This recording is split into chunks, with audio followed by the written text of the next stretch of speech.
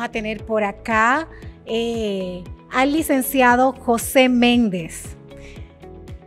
Posee los siguientes títulos. Licenciado en Mercadeo, Universidad Tecnológica de Santiago, UTESA. Especialidad en Alta Gerencia Empresarial, Universidad APEC. Maestría en Gerencia y Productividad, MBA, Universidad APEC. Y es actual doctorado en Administración en Gerencial. Universidad Benito Juárez de México. Además, posee los siguientes diplomados. Diplomado en formación de proyectos con metodología científica. Universidad Federico Enríquez Ureña y Carvajal, UNFU. Diplomado en entornos virtuales del aprendizaje, Universidad Abierta para Adultos, UAPA, MESIC. Certificación internacional en emprendimiento con la metodología IMEXUN, Universidad Autónoma de Santo Domingo, UAS, a través de la MESIC.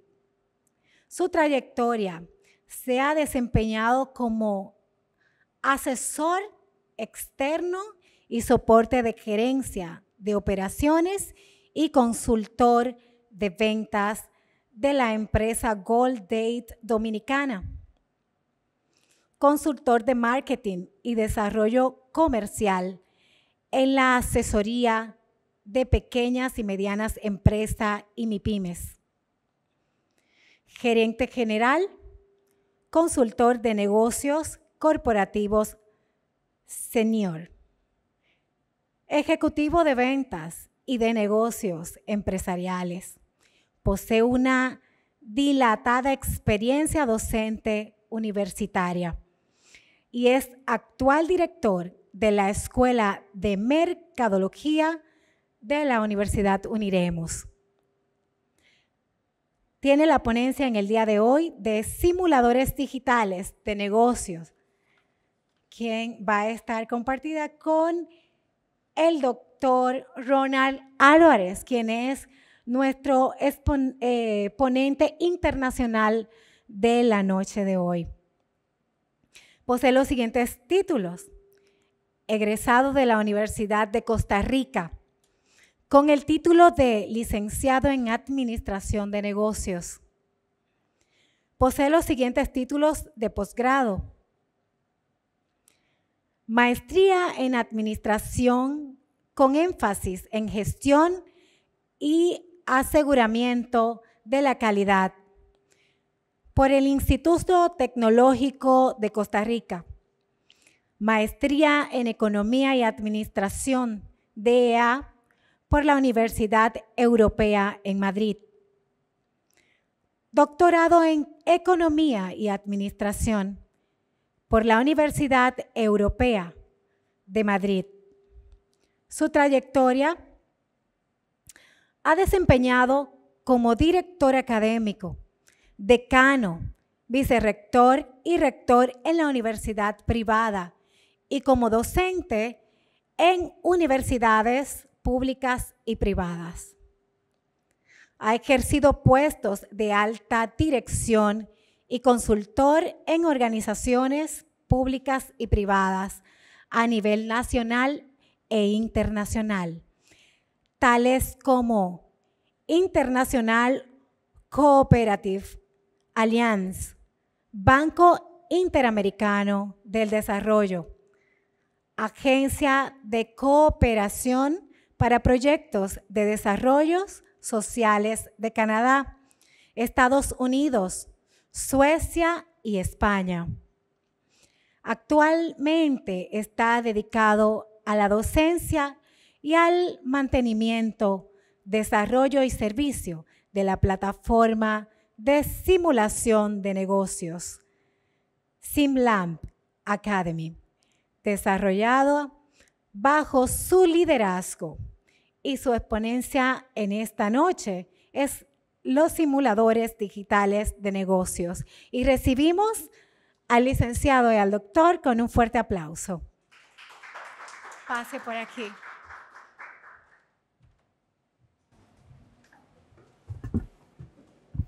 Bien, muy buenas noches nueva vez.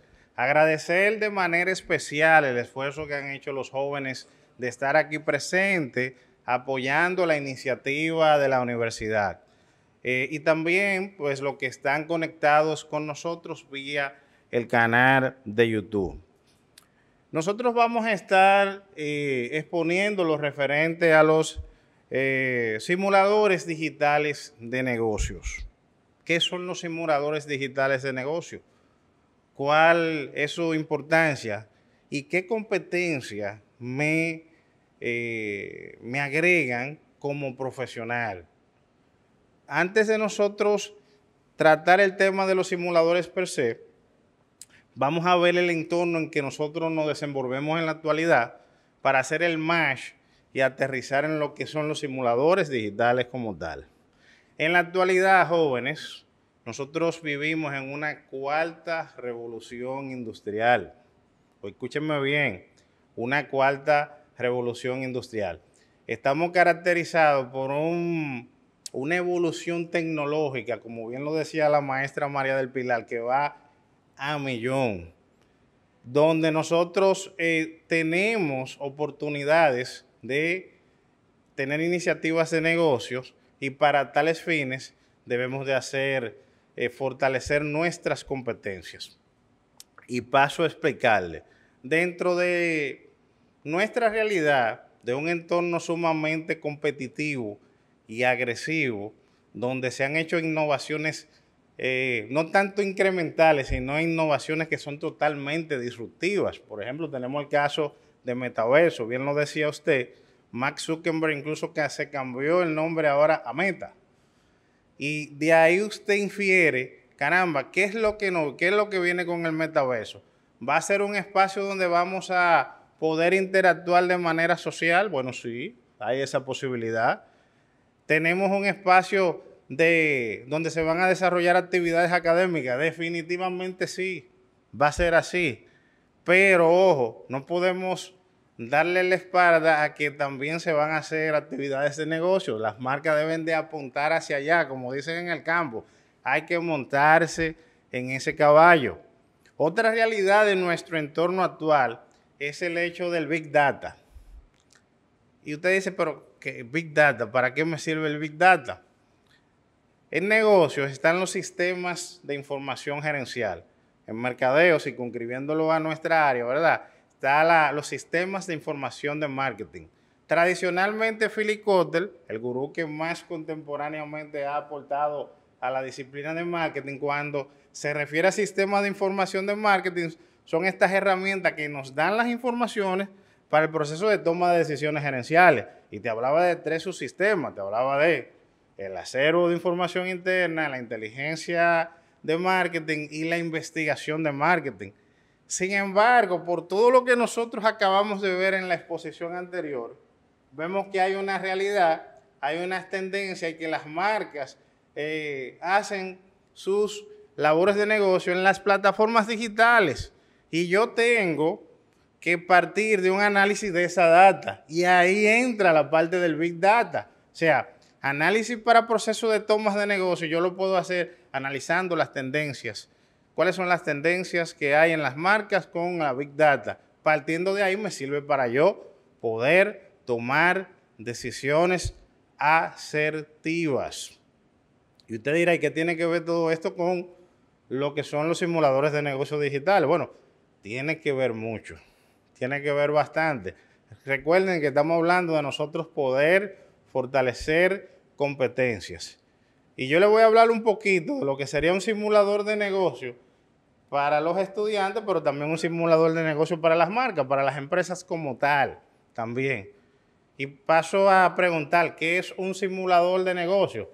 Bueno, un simulador de negocio es un espacio virtual en una plataforma electrónica donde yo puedo interactuar, tomar decisiones gerenciales, simular con conocimientos integrales que yo he adquirido, previamente preparado, eh, yo hacer inversiones, eh, utilizando temas financieros, puestos de bolsa, administración de operaciones, administración de recursos humanos, liderazgo de equipo, sin yo tener el riesgo, en el caso de las empresas, de afectar los recursos de la misma y en el caso de los estudiantes, ¿verdad?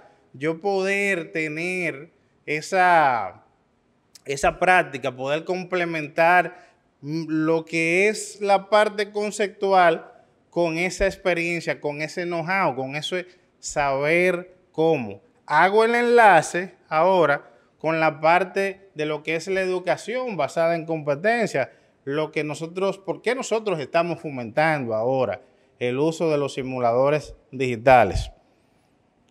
Hay, varias tendencias en el tema de, educación. Está el aprendizaje experiencial, que en la década de los 70 fue formulado por David Cole.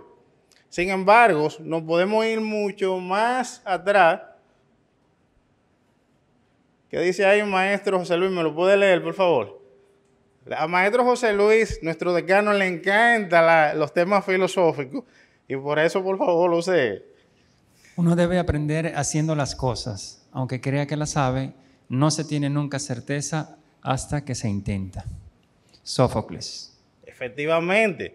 También, para el 350 antes de Cristo, Aristóteles, bueno, lo voy a parafrasear, me voy a tomar el atrevimiento de parafrasear a Aristóteles que decía, uno aprende haciendo. Escúchenme, uno aprende haciendo. Podemos también partir de un proverbio chino que dice que si veo, se me olvida. Si escucho, aprendo. Si hago, pues lo asimilo, me empodero y de verdad que puedo aprender. Entonces, el aprendizaje experiencial te complementa lo que es tú venir al aula, tomar la teoría, pero también con la parte práctica y tú ver los resultados de esa parte práctica y meditar en el mismo, analizar y tomar las experiencias. Entonces, cuando hablamos de simuladores de negocio, más que una mera definición, es darle una herramienta donde ustedes van a implementar esos conocimientos que a lo largo de su carrera tienen de lo que es contabilidad, mercadeo, gestión de recursos humanos, gestión de costos, eh, poder implementar lo que son estrategias blandas, estrategias duras, e implementarlo en un ambiente de negocio virtual donde van a competir con otras empresas y van a obtener resultados. Eso le va a complementar sus competencias y les digo, todas las instituciones que en la actualidad están certificadas, están acreditadas eh, en negocios y tienen certificados de calidad, implementan simuladores de negocio. Nosotros, como institución que estamos orientados, que estamos trillando un camino hacia la calidad, no estamos ajenos a esa realidad. Es por tal razón que estamos haciendo esta ponencia. Entonces, esta parte fue un, el plato de entrada, porque ahora tengo el privilegio de ceder la palabra al doctor Ronald Álvarez, quien es un privilegio tenerlo aquí en esta, esta noche, ya ustedes escucharon su currículo, y es toda una autoridad en lo que se refiere a plataformas eh, digitales de simulación de negocio, incluso es creador de un simulador de negocios. Así que vamos a darle la palabra al doctor Ronald Álvarez. Ronald, el escenario es tuyo.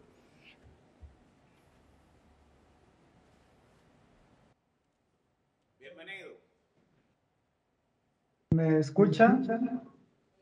Perfectamente bien, doctor. Bueno, qué gusto me da poder acompañarlos en esta actividad. La, la verdad es que la maravilla de la tecnología nos permite esta experiencia. Eh, yo aquí sentado en San José, Costa Rica y poder dirigirme al auditorio que, bueno, en este momento no, no puedo ver, pero me imagino que han estado muy eh, interesados eh, escuchando las presentaciones de José y, Maripili. yo estuve escuchando con mucha, mucha atención la, presentación que Maripili hizo y me parece que es, un antecedente muy bien escogido para para poder hablar de, del tema de simuladores de negocios, eh, porque tiene mucha relación. Nosotros hemos tenido eh, una, bueno, ahí me están mostrando el, el auditorio. qué bueno, qué bueno, qué gusto de, de ver a los participantes, aunque sea por, por, la, por, por esta vía. Eh, pero les decía, eh, por, ¿cómo llegué? Bueno, primero le quería preguntar a José cuánto tengo de tiempo para esta presentación. 20 minutos. Ok. Bien, eh, yo empecé a trabajar con el tema de simuladores de negocios porque eh, yo era docente eh, en un momento determinado, en un curso de maestría, eh, daba dos o tres cátedras, pero especialmente en una, yo, yo impartía el curso de planeación estratégica, también de marketing estratégico y métodos de investigación.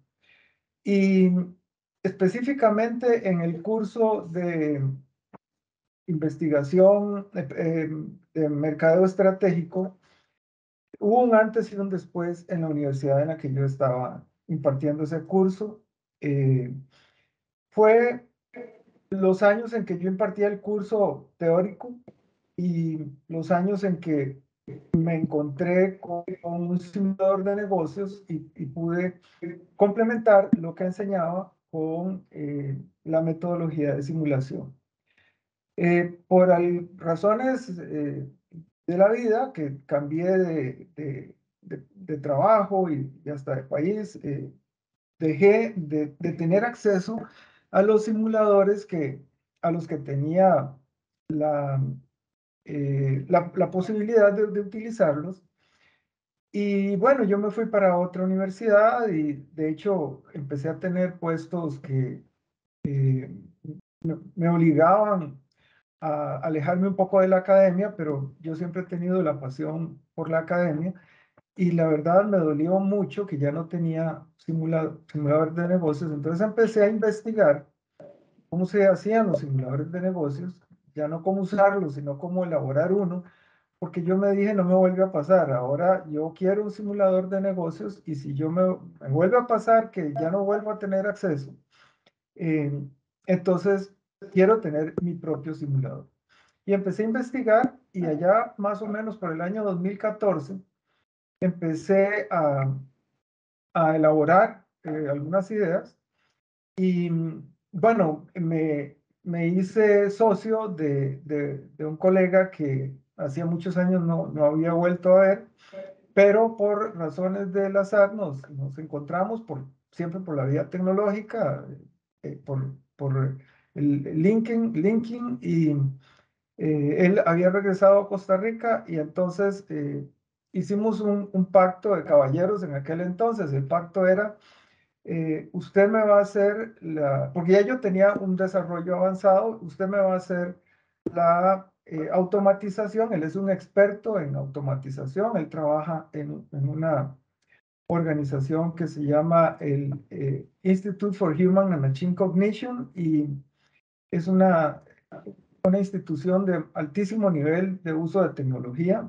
De hecho, trabaja, ha trabajado proyectos con la NASA y en este momento están trabajando robótica y inteligencia artificial y él había desarrollado eh, una herramienta eh, eh, que se llama CIMAP Tools, que es una herramienta para desarrollar mapas conceptuales y mm, de hecho, con esa herramienta, la NASA desarrolló un proyecto para accesar un eh, eh, meteorito, recoger muestras y traerlo de regreso a la, a la, Tierra. Esa, esa, esa, misión todavía no, no ha sido implementada, pero eh, lo, lo, tomaron los japoneses y, y ahora van a, a, desarrollarla. Y eso fue desarrollado con la tecnología de CIMAP Tools que mi amigo y, socio eh, desarrolló en aquel entonces. Entonces, él, es una autoridad eh, eh, en automatización. Entonces yo dije, bueno, tengo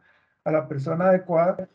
Y eh, yo me encargo de desarrollar eh, toda la parte de eh, la inteligencia, digamos, del simulador en el sentido de poder desarrollar el escenario en el que se toman las decisiones.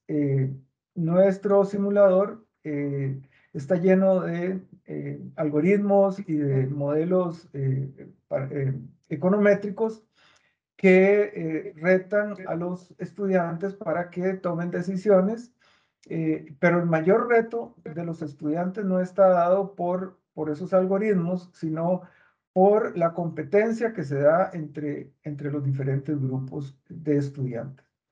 Eh, hoy en día, y un poco siguiendo con algunas de las ideas que, que Maripili expresaba de la tecnología, sabemos que eh, la, la, competitividad de, de, un profesional eh, está puesta a prueba en esta eh, cuarta revolución que mencionaba José. Vamos a, el profesional va a tener que, reinventarse porque los conocimientos aumentan en forma exponencial cada día y es necesario que apliquemos tecnologías que nos, nos permitan desarrollar competencias técnicas y competencias blandas, que es lo que el mercado laboral eh, pide para poder contratar a los profesionales. Eh, desde ese punto de vista, hemos venido elaborando eh, este, este proyecto. El proyecto, después de más de seis años de estar eh, en desarrollo ya eh, está siendo utilizado, bueno, en, una de las universidades eh, en donde José trabaja, ahí lo están utilizando, y en otras, en otras universidades, en otros países también, aquí en Costa Rica se está utilizando, y ya tenemos una buena comunidad bastante grande de estudiantes y de profesores que lo utilizan. es importante entender que hoy en día y bueno, lo, puedo aseverar porque yo también soy miembro del Consejo Nacional de Acreditación de la Calidad de las Universidades de Costa Rica. Soy miembro del, Sistema Nacional de Acreditación de la Calidad de la, Educación Superior en Costa Rica. Y nosotros eh, eh, vemos los procesos de certificación de calidad y parte de los procesos que nosotros valoramos y, que eh, tomamos en cuenta para medir la calidad de las instituciones es de qué manera las instituciones permiten que los estudiantes desarrollen competencias técnicas y prácticas para que puedan enfrentar los retos del mundo laboral.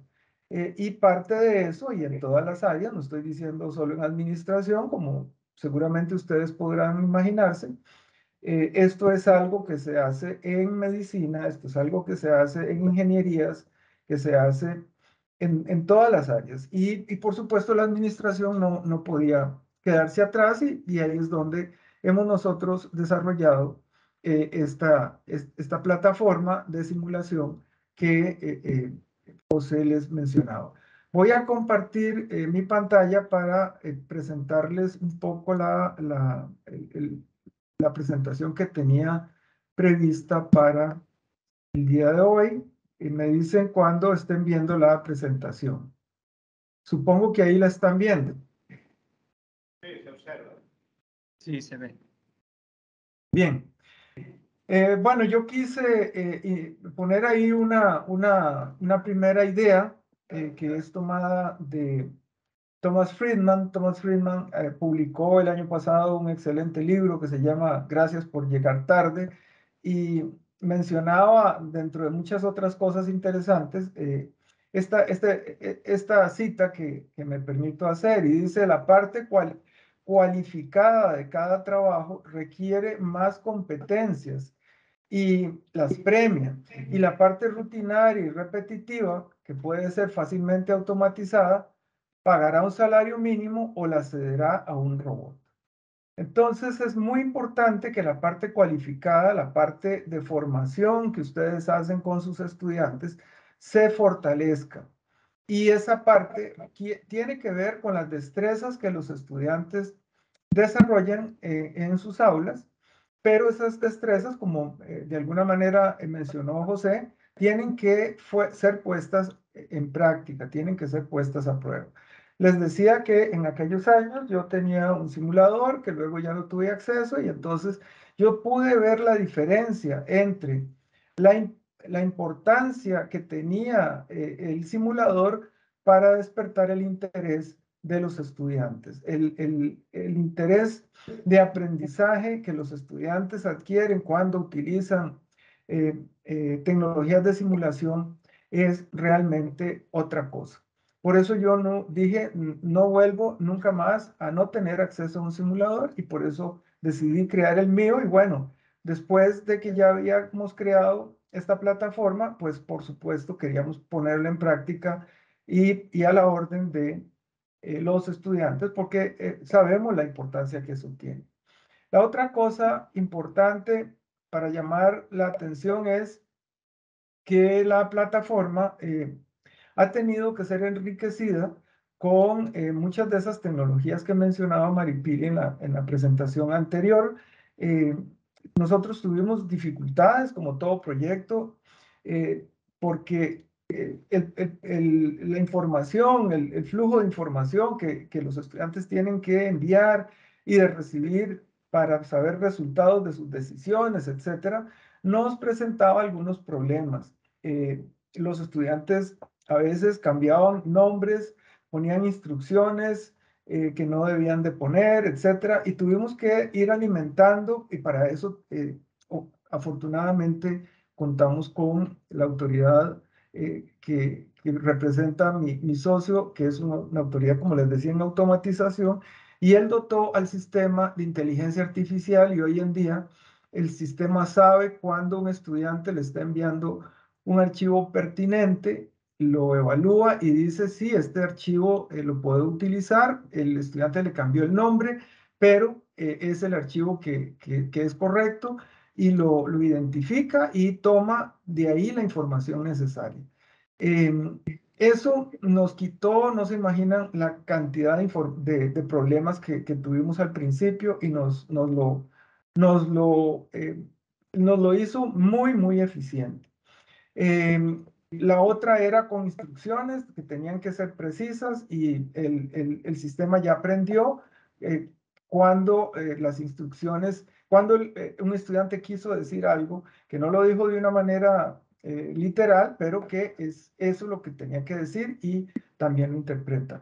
Y la otra dificultad que tuvimos que resolver con inteligencia artificial es que hoy en día hay eh, una gran opción para que los estudiantes puedan interactuar ya no solo con una computadora fija o con un laboratorio de cómputo de una universidad, sino que eh, pueden utilizar un teléfono, pero cuando hablamos de un teléfono inteligente se abre una gama de opciones muy grande y entonces hoy en día eh, ya no solo usaban, por ejemplo, el Excel, que es una herramienta que nosotros empleamos para trasiego de datos, eh, sino que usaban sistemas abiertos de, de, de, hojas de cálculo y eso también nos daba problemas. Bueno, con inteligencia artificial el, eh, nuestro sistema ya sabe, aunque no venga de un, de un archivo de Excel y venga de otro, de otro ejecutable, eh, lo, lo, que le interesa es la información que viene adentro y la, y la logra identificar. Y una tercera eh, campo en, en, que, en, que, el sistema funciona es que en nuestro escenario hay unas, hay lo que llamamos unas empresas de la industria que reaccionan también con, con inteligencia artificial y detectan eh, las eh, decisiones que los grupos de trabajo van tomando para también a su vez eh, de una manera autónoma tomar decisiones por su cuenta. Entonces, nuestro sistema ha tenido también que tomar, y es un ejemplo de lo que Mari Pili mencionaba, de la tecnología que ya mencionado. Bueno, poco a poco vamos seguramente a tener que irnos metiendo en eh, eh, algunas de las cosas que mencionó. Metaverso seguramente no es nuestra intención por ahora, no lo tenemos como un objetivo, pero hacia el futuro no podremos estarnos eh, alejando de eso, dadas las eh, eh, tendencias de la tecnología. Y otras cosas que al final les voy a contar sobre lo que estamos planeando. Pero bueno, en general, el objetivo que nosotros buscamos en nuestra plataforma es brindar, que es lo que dice ahí, brindar para que los estudiantes tengan la oportunidad de aprender haciendo, aprender a cómo poner en práctica esos conocimientos que han aprendido en las aulas eh, y que de alguna manera se ha tratado en la enseñanza tradicional de ponerlos en práctica a través de estudio de casos o de prácticas en las empresas, etcétera, pero eh, eh, los simuladores eh, tienen la ventaja de que, y por lo menos esa es una, una, visión que nosotros siempre, siempre hemos tenido, de que se pongan en práctica de manera integral. Un estudiante puede ir a hacer una práctica a una empresa, pero solo conocerá el, departamento en donde le permitieron hacer esa práctica y muchas veces es hasta frustrante porque le permiten que vaya a hacer una práctica y termina haciendo funciones, eh, bueno, de esas repetitivas que, que Friedman mencionaba. Em, o cuando estudiamos un caso, se enfoca en una, en, una eh, área específica pero nuestra simulación es orientada para una práctica integral, para que eh, el estudiante actúe como un administrador, como un gerente que toma decisiones. Y para tomar decisiones, eso se hace en forma integrada. Eh, nunca en las empresas se puede pensar en que las decisiones son solo o de finanzas, o de marketing, o de recursos humanos, eh, o del área de producción, sino que siempre son una integralidad. Y por eso es la gran conveniencia de tener eh, esta, estas tecnologías. Nosotros eh, hemos desarrollado competencias blandas, hemos, permitimos que se desarrollen competencias blandas. Vemos que en nuestra simulación, la, en, la, práctica de nuestra simulación, se desarrollan eh, eh, competencias como trabajo en equipo, estilos de liderazgo, eh, comunicación dentro y entre los grupos y una excelente flexibilidad, paciencia y persuasión que es muy demandada por parte de los empleadores hoy en día. Eh, nosotros también desarrollamos eh, como parte de la experiencia eh, gestión del tiempo y esta que aparece ahí, que es la resiliencia, que está muy relacionada con la motivación, es un concepto que hoy en día está muy en, en boga. la resiliencia dentro de nuestra experiencia de simulación ha sido motivo para que ah, hiciéramos un paper y lo estamos presentando en el próximo Congreso de CLADEA, que se va a realizar en el mes de septiembre en Ecuador. Y la verdad eh, eh, es eh, muy interesante la forma como hemos logrado medir ese concepto de resiliencia o la capacidad para que un estudiante o un grupo de estudiantes se puedan eh, sobreponer a los aspectos eh, adversos eh, y, levantar una mala actuación dentro de su experiencia en la simulación para superar esos retos. Y ese concepto de resiliencia lo hemos medido en, en términos comparativos y hemos logrado desarrollar mediciones de eso con la experiencia que hemos visto de parte de los estudiantes. Y de parte de, o desde el punto de vista de las competencias técnicas, pues ahí hay una enorme cantidad de competencias que se eh, practican en nuestra simulación, como todas esas que aparecen ahí. Eh, y hay eh, una experiencia alrededor de la parte estratégica en una modalidad que también nosotros ya hemos desarrollado, en donde se pueden ver ya cosas más, más estratégicas como cómo mantener eh, eh, control eh, por desgaste de la planta, capacitación del personal, cómo afecta eso el clima laboral, cómo utilizar los recursos de inversión y desarrollo para crear innovación, cómo crear competitividad, etcétera. Una serie de valores de ese tipo en, en otro nivel de la simulación. Nosotros, como les decía, tenemos pues siempre el uso de tecnologías de punta, siempre estamos avanzando en eso. Y quería, para terminar, hacer énfasis en, en cuatro aspectos que a veces no, no son tan utilizados, pero que nos gusta aprovechar estas presentaciones para hacer énfasis de que existen y de que, y que las puedan utilizar. Nosotros eh, estamos en la capacidad para poder emitir un certificado de aprovechamiento para los estudiantes en las, en las empresas que, o en las universidades que, que utilizan nuestra plataforma, en donde se, se, se, sí se, se, se, hace ver, y esto es un valor importante para los estudiantes, que eh, de una manera de certificado de aprovechamiento, vean que no es un certificado de participación, sino de aprovechamiento, de em, tanto de las competencias blandas como de las competencias técnicas que los estudiantes han logrado eh, practicar. Y se certifica la cantidad de horas eh, a que han estado los estudiantes expuestos a estas competencias. Nosotros esto lo hemos eh, eh, comentado a los grupos y a los profesores que utilizan nuestra plataforma, em, pero a veces no lo, o no lo han entendido o no lo han valorado o, simplemente se les ha olvidado y, y es crea un valor interesante porque los estudiantes lo pueden mostrar como parte de su formación. Otro eh, tema que, que también lo tenemos ahí, que también eh, no se utiliza tanto, pero que nosotros nos tomamos el tiempo cuando les interesa de hacerlo, es que se puede parametrizar variables y escenarios. El simulador viene con un escenario de, de trabajo eh, que obviamente implica muchos retos, que implica toda, poner en práctica las variables que hemos mencionado.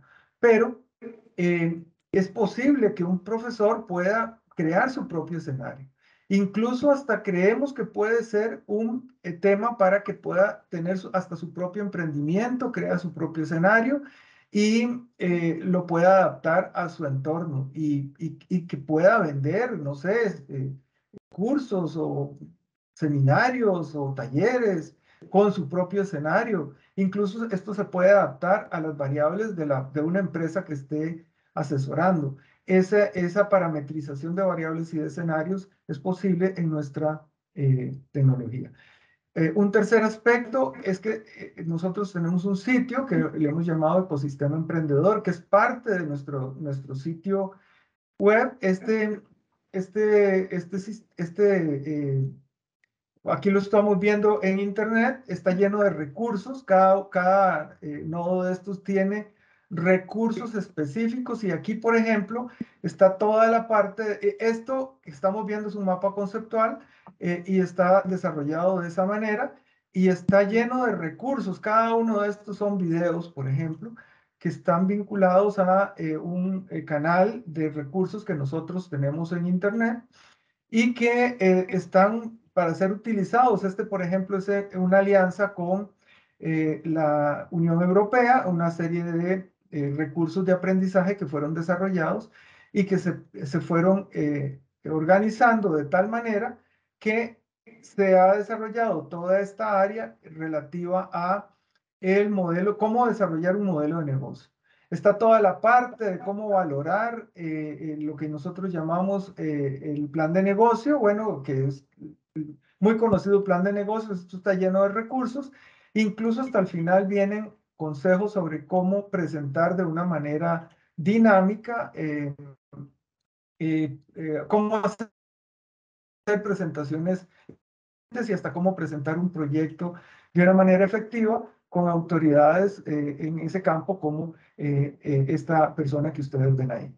en fin, hay una serie de recursos que se pueden utilizar y que nosotros a veces sentimos que por no divulgarse o por no conocerse a fondo, no se hace. En el caso de la universidad de ustedes, sí se está utilizando este recurso que es el de la plataforma de My Own Business, que está en, en, asocio con la Universidad Santa Clara, que permite a su vez formar a los estudiantes en emprendimiento. Para nosotros el concepto de emprendimiento es muy importante porque nosotros entendemos que un emprendedor es aquella persona que es un agente de cambio y por eso ese es nuestro punto de partida en la simulación.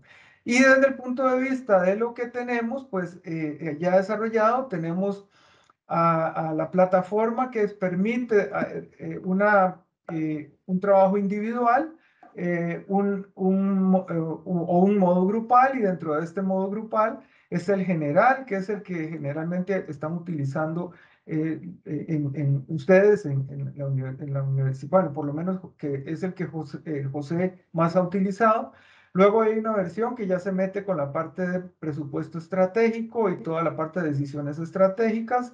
Ya tenemos un desarrollo para poder pensar en fusiones y o adquisiciones. Eh, las empresas ya pueden ejercitarse eh, pensando en, fusionar, fusionarse.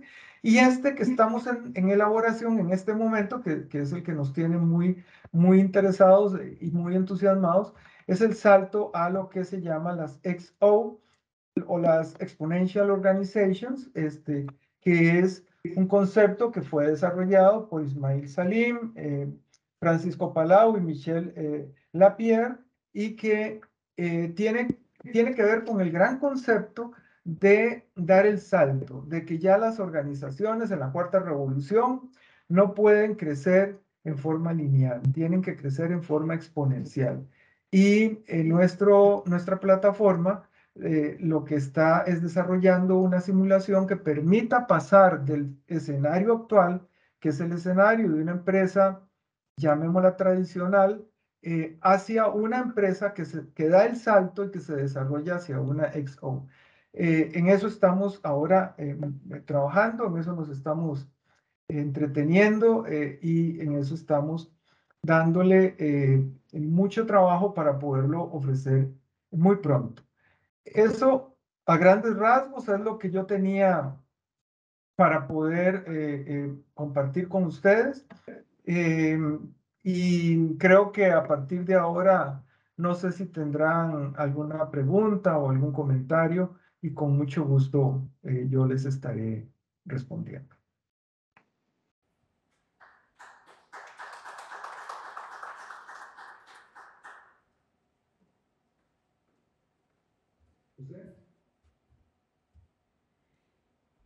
Pues abrimos nuestros micrófonos para tener los 10 minutos de, preguntas y respuestas.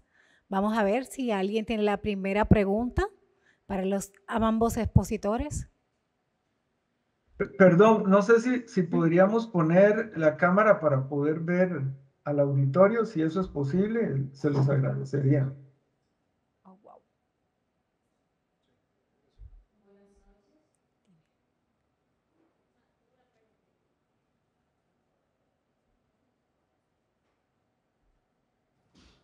Buenas noches. Bienvenido, bienvenido, doctor Ronald Álvarez.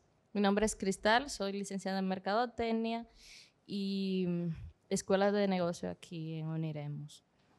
Mi pregunta sería, ¿cómo puede una entidad poner en marcha las, la empresa de simuladores de negocio? Buenas noches. Gracias. Perdón, ¿cuál cuál es su nombre? Cristal. Cristal, ah, mucho gusto, Cristal, y saludos desde acá. Eh, sí, eh, la forma como, como se empieza a trabajar eh, con los simuladores, pues es capacitando a, al docente, porque el docente es clave en, esta, en, esta, en, este, en esta experiencia.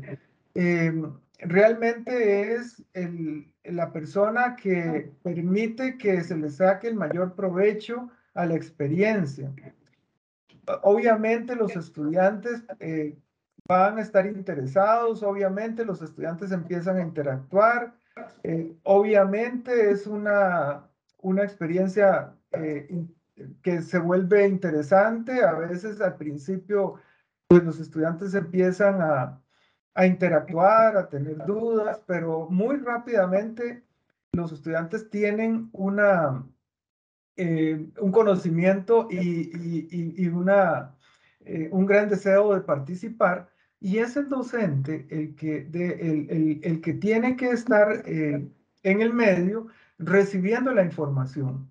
Nosotros lo que hemos desarrollado es una, y, gracias a la, a la, a la tecnología, pues un, una, una plataforma de apoyo y nosotros siempre le decimos al, al, docente, mire, lo vamos a capacitar, la capacitación en realidad no, dura mucho, eh, pero esto es como aprender a nadar. Eh, tírese a la, piscina, empiece a nadar y si en el camino siente que empieza a hacer agua, nosotros le, vamos a estar ahí a la par para, para no, no dejar que se vaya a, ahogar eh, de camino. Eh, y, y ahogar de camino significa que no se imagina la cantidad de preguntas y preguntas interesantes y preguntas profundas y preguntas eh, que retan al conocimiento del docente y, y, de nosotros también. Y entonces nosotros estamos siempre ahí para darle respaldo. Nosotros no interactuamos con los estudiantes, lo hacemos a través del docente. Capacitamos al docente, pero luego le damos el apoyo y, le decimos, no se preocupe, eh, cualquier pregunta que le hagan, vamos a estar atrás para, para, poder para que usted la pueda responder. Y digamos que esa es la, la, forma como nosotros, eh, Cristal, eh, hacemos la interacción. Y bueno, ya la parte, digamos, administrativa y eso, eso es otra cosa, pero pero, pero eh, cuando quieren nuestro, nuestro servicio, nosotros siempre estamos dispuestos a, a ponerlo a la orden y a ayudarle al docente porque es la persona clave en esto. No sé si eso le responde y, y no sé si tienen alguna otra consulta. Sí, yo tengo otra pregunta. ¿Se necesita tener un determinado nivel de conocimiento o esta plataforma va acorde a un nivel jerárquico para uno poder utilizarla. Ok, esa es una, perdón, ¿cuál es su nombre? María. María, muy bien, mucho gusto María, saludos.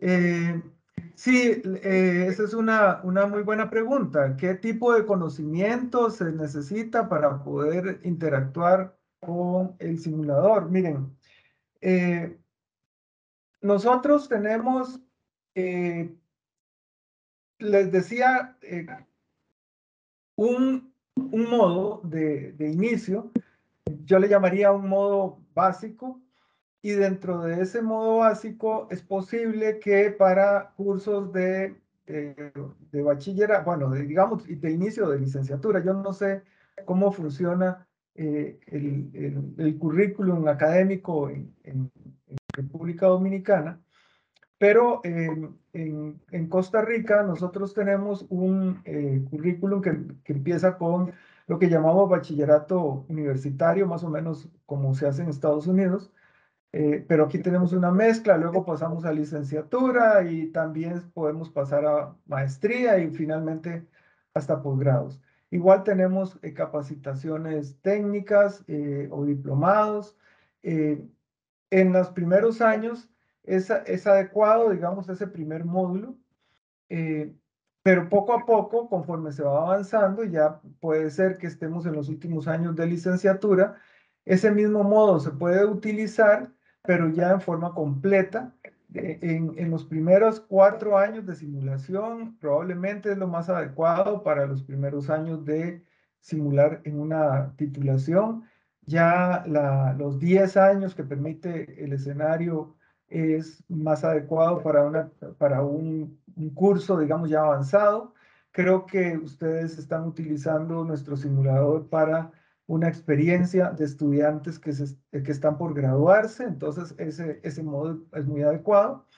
Y tenemos el modo de, eh, uso del eh, presupuesto estratégico, que es adecuado para cursos de maestría y luego también con la modalidad de eh, de fusiones o adquisiciones, también es para maestría. Y el XO que estamos desarrollando ahora, ese será un, un programa bastante interesante porque no necesariamente será para alguien que vaya para niveles superiores, puede ser que para niveles de último nivel de, formación y, también para maestría es, es, adecuado. Entonces, depende de a quién le, usted le esté eh, aplicando la, la herramienta, eh, para qué grupo es, es adaptable. Nosotros no creemos mucho y respetamos quienes sí lo hacen, pero nosotros no creemos mucho en simuladores de marketing o en simuladores de finanzas o en simuladores de recursos humanos, porque esa no es la experiencia en la realidad. En la realidad son experiencias integrales y, siempre hemos desarrollado escenarios para experiencias integrales. Sin embargo, eh, sí hay formas para enfatizar el, simulador en áreas específicas, por ejemplo, para finanzas o para, o para contabilidad eh, o para eh, eh, área para producción, etcétera. Sí, sí hay formas de hacerlo con, con el mismo escenario y nosotros estamos en la mejor disposición siempre de trabajar con el docente, que es la persona clave en esto. Haciendo una acotación, Ronald, si me lo permites, haciendo una acotación, nosotros en, en el caso puntual estamos haciendo, usted requiere, ¿verdad?, ser estudiante de término de la carrera de administración o de mercadeo, porque es cuando ya tiene ese cúmulo de competencias y va a implementar en el simulador, valga la redundancia, las estrategias que ha adquirido durante el transcurso a lo largo de la carrera. Eh, no obstante a que también, como bien mencionaba Ronald, usted va a recibir una capacitación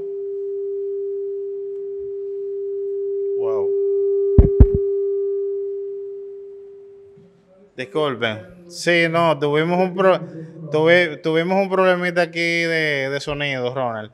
Bueno, recapitulando, requiere ser estudiante de término. Necesita competencias en ese sentido y haber dado materias específicas. ¿Para qué? Para poder implementar estrategias con ese previo conocimiento. ¿Está bien? Entonces, estudiante de administración de mercadeo, eh, y la idea es usted implementar las mismas en el simulador. Vuelvo y repito, como decía Ronald, ustedes también recibirán una, una capacitación de cómo utilizar el simulador y en competencias duras y blandas. Incluso se le emite, como bien decía Ronald, se le emite un certificado de emprendimiento de la Universidad de Santa Clara. Saludos, muy buenas tardes. Mi nombre es Juan Jiménez, facilitador de, las asignaturas de contabilidad y de administración de aquí de... Ah, eh, pues bien, de, de la Escuela de Contabilidad y Auditoría y Administración de Empresas de la Facultad de Ciencias Económicas y Administrativas de esta Universidad Eugenio María de Hostos en República Dominicana. Y para dar respuesta a nuestro ponente internacional, que nos decía que si teníamos ese tipo de bachillerato aquí, tenemos lo que es el bachillerato general o académico, que es el tradicional, como existía anteriormente.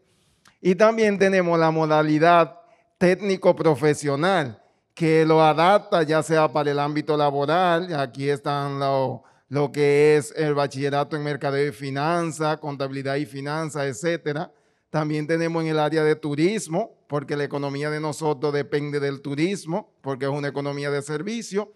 También en enfermería y distinto así. Inclusive el que más prisma en este caso es el bachillerato general, porque mayormente, el, como decía, el técnico profesional se da en lo politécnico, Ahora mismo nuestros estudiantes están en lo que es pruebas nacionales para medir ya el conocimiento y, de, y después ingresar a la universidad.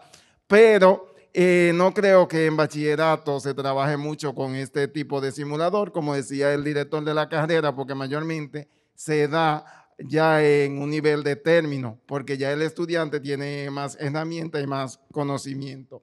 Eso fue para dar respuesta a la pregunta que usted hizo. Con relación a lo que quería decirle, yo lo que quiero hacer un pequeño aporte que a la vez entiendo que será insuficiente y a la vez corroborar con las informaciones que ya ustedes nos han brindado. De verdad que lo felicito por su ponencia de mucha utilidad. Es una lástima que no tengamos tanto público, pero eh, lo que sí es que los simuladores son de gran importancia porque ustedes saben que muchos simuladores los tenemos que usar en el campo académico. Eh, tal es el caso que, usted decía que utilizan ustedes allá en Santa Clara eh, para asignaturas como finanzas, finanzas corporativas, finanzas públicas, mercados de valores, instituciones financieras, tenemos que utilizar algunos simuladores. En este caso utilizamos Investopedia, que es un simulador de, de venta de acciones eh, con la Bolsa de Valores de Nueva York. O sea, se habla de eh, tiempo real, el precio de las acciones y todo eso, y todos los movimientos que debemos hacer para vender a una, a otra y así sucesivamente que es muy importante para los estudiantes. Eh, también la Dirección General de Impuestos Internos de aquí de República Dominicana ha creado un simulador tanto para los estudiantes como para las personas que necesiten hacer cualquier tipo de declaración y así sucesivamente, que es de vital importancia. Ahora bien, yo quería ver qué recomendación le dan ustedes a los estudiantes en relación a que los estudiantes muchas veces tienen los recursos y los medios tecnológicos gracias a la tecnología de la información y la comunicación social. Pero ahora bien, ellos no saben hacer un uso adecuado de esos recursos porque tantos simuladores que tenemos y así sucesivamente, y ellos muchas veces no hayan que hacer en el celular porque quieren descargar esta aplicación, esto, aquello. ¿Qué ustedes como académicos en la vida actual les recomiendan para que ellos se involucren más en cuanto a estos tipos de simuladores que son de gran importancia, no solamente para su carrera, sino para su vida profesional. Muchas gracias.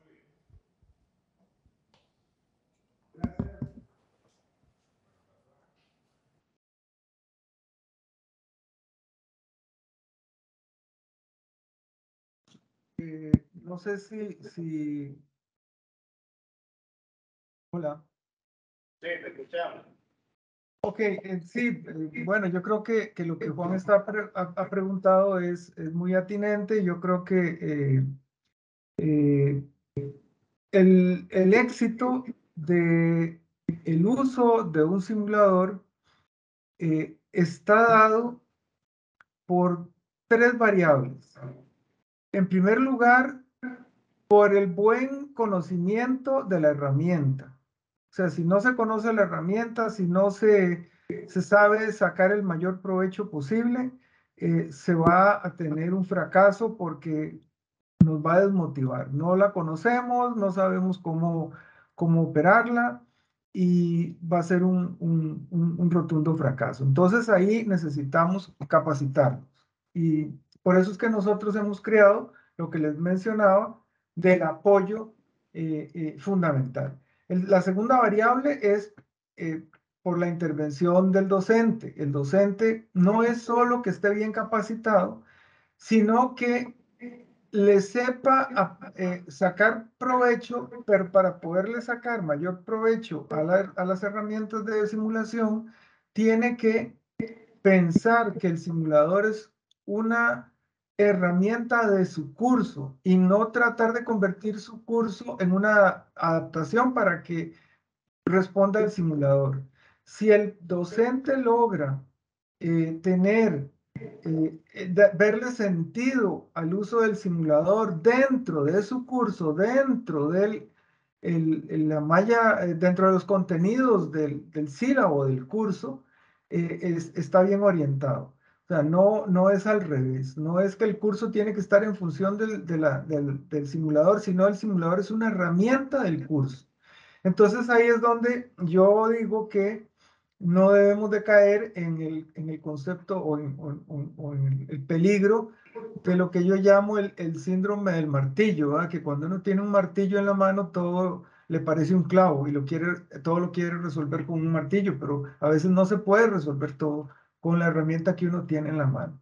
Entonces, ahí es donde es muy importante poder saber, y Juan lo mencionaba muy bien, hay simuladores de bolsa de valores, hay simuladores para poder trabajar, eh, eh, ¿cómo se llama? Eh, impuestos, etcétera. Pero también se puede convertir en un problema cuando son tan específicos que entonces empieza a ejercitar solo ciertas áreas sin pensar en la integralidad que tiene esto. Por eso nosotros eh, hemos preferido desarrollar escenarios generales y dentro de ese escenario un profesor le puede sacar provecho al área que le corresponde.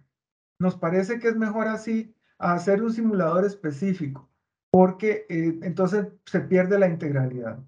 Y la tercera cosa importante, la tercera variable importante para sacarle provecho es la motivación de los estudiantes. Por supuesto, los estudiantes van a estar motivados si le dan sentido. Si, si le tratan de poner una cosa que no entienden o le tratan de poner una cosa que es muy difícil o le tratan de poner algo que no le va a dar ningún provecho, rápidamente van a perder el interés. El interés del estudiante es fundamental. Entonces, los, los elementos de la simulación pasan por, por esas tres variables que son fundamentales. Claro que está el apoyo que la plataforma le pueda dar a, quien quiera utilizarla. Claro que está la actualización. Esto es algo que tiene que estar en constante actualización. Claro que está eh, nuevas versiones en donde no nos quedamos con, con el pasado, sino que nos estamos adaptando constantemente. Todo eso es necesario y es parte de lo que eh, nos, nos, nos demanda el mundo actual pero eh, definitivamente que esos tres elementos son fundamentales para poder eh, tener éxito en el uso de, de estas herramientas.